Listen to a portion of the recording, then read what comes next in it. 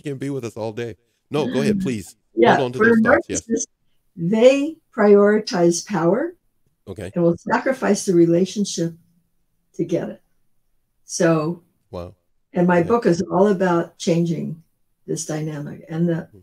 the codependent or the partner or the friend or prioritizes the relationship and will sacrifice themselves to keep it.